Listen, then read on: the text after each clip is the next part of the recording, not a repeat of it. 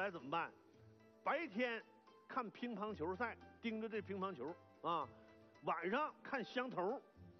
几个月下来呀，这六小龄童还真就把这眼神给练活了，都那种依依不舍。再看被压在五行山底下，看到那个飞鸟大雁，这眼神里又充满了对自由的渴望。大闹天宫的时候啊，这眼神又变得那么威风凛凛。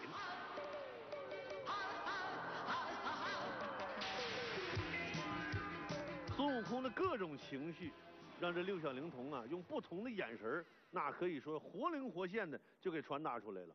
说到这儿啊，刚子的确深有感触，就是做任何事儿，即便你是先天有所不足，只要咱们后天肯下苦功夫，肯定就能有所成就。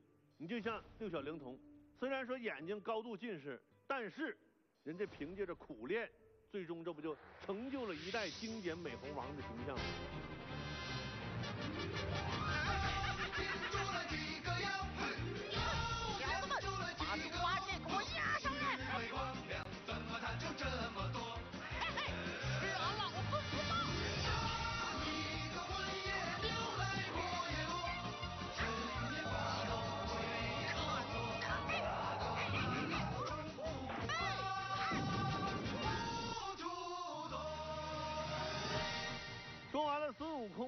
们再来说说这个《西游记》选角色当中最一波三折的角色，就是这唐僧。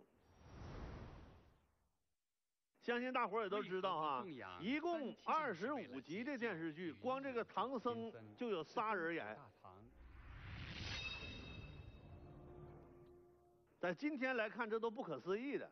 为什么当初这个唐僧有三个人扮演呢？这话说来就长了。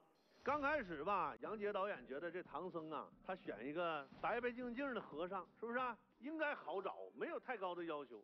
于是呢，他就到这个电影学院，就想直接找一个长相清秀的啊，白白净净的学生就行了。虽然当时学校已经都放假了，但是校领导对这个事儿特别重视，哎，马上给拿了一摞照片说导演，您您挑啊，选中谁，我马上我就叫人来。这杨导拿着照片啊，一张一张看，一张一张的斟酌啊，哎，突然就发现这其中有一张，让这个杨导眼前一亮，谁呢？这个相貌英俊的小伙子就，谁呢？这个相貌英俊的小伙子就叫汪岳，哎，就是这位啊。这杨导当场就拍板了，说就他了，让这个汪岳来演唐僧。咱们看看啊，这张照片，这就是《西游记》最开始的师徒。你看，本来挺好的一个组合，是吧？但是呢，拍完了这个祸起观音院、偷吃人参果，还有三打白骨精这三集之后，出问题了。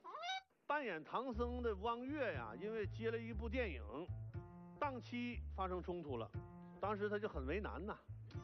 刚开始吧，汪岳说：“我说我可以一边拍电影一边演唐僧。”可问题是，唐僧这个角色他不是客串的，每一集都有啊，戏份特别重，怎么办呢？最后没办法，无法两全的情况之下，汪岳还是选择离开了《西游记》的剧组。当时杨洁导演也。